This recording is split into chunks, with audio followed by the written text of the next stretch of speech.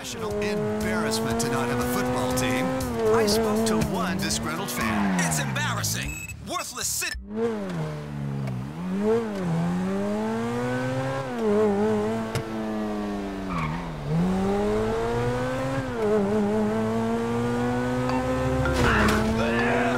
Hey, Trace, what's up?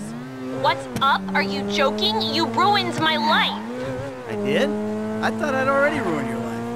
Remember after that boat thing?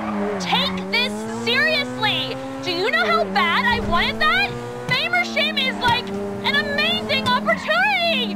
You're such a fucking fuck. You really are. You'll get over it.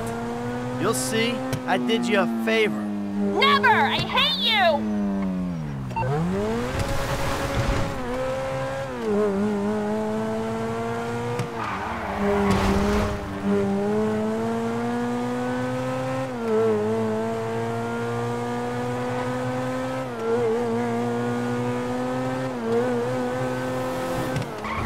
You entitled piece of shit!